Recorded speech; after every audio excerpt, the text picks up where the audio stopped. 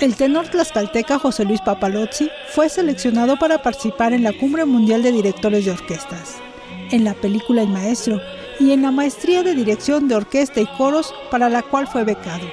Actividades a realizarse en España el próximo agosto. La cumbre es mundial que se lleva a cabo en Huelva, España. Eh, también ahí estamos siendo partes de un bestseller, de un libro de El Maestro, La Forja de un Maestro. Eh, agradezco mucho porque también al, a la orquesta del Benemérito Conservatorio de Música del Estado de Puebla, porque gracias a ello pude meter las audiciones a España.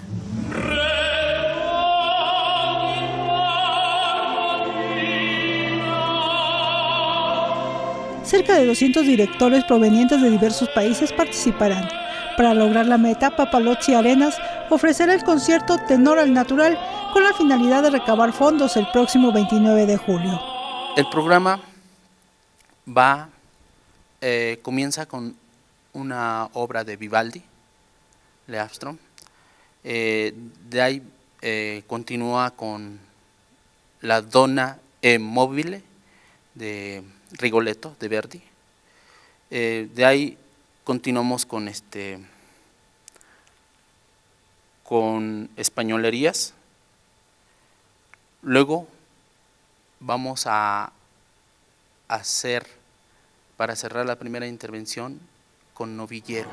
La segunda parte del concierto continuará con Toledo, Valencia, Oboe de Gabriel, España Cañi y cerrar con Granada del compositor mexicano Agustín Lara.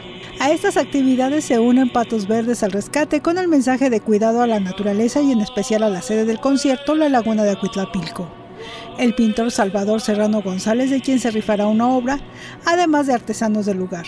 Recuerde, la cita es el 29 de julio a las 18 horas en la laguna de Acuitlapilco. Tenor al natural.